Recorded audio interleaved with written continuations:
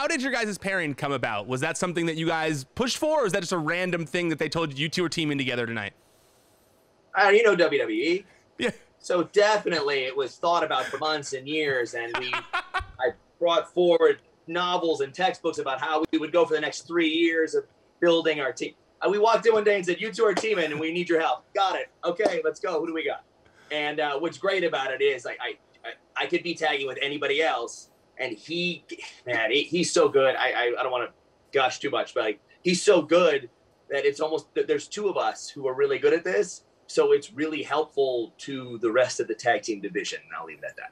I well, I, I, we can gush about Bobby Roode for a little bit. It's okay. we, we, we, got the time. You know, when did you first, you know, was it in that first match where you were like, man, me and this guy click so well, or did it take a few weeks of you guys teaming together for that to come about?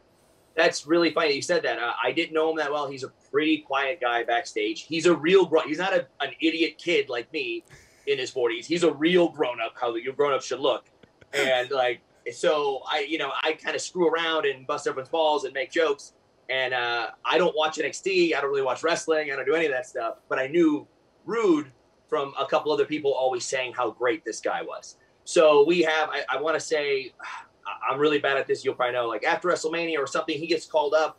And sadly, it was one of those times where I'm the guy you you come to fight when you get called up. Uh, and we talked a little bit and we had a match and maybe 10 seconds in that match, I go, oh, this isn't some idiot that I have to make look good. This guy uh, totally, really, really knows what's going on. So then it was so easy uh, when you have a, a, when you both have the brain for the business, you both constantly think the same ideas. There's differences here and there, but you know what the point is and how to get there, and it's so great, like confirming that back and forth. And you're like, okay, so that's what makes us such a great team now. Is one minute into that first match without me knowing him and me going, this guy's not taking my spot. Screw this guy. And it's like one minute in, you're like, this guy gets it. Let's go have fun.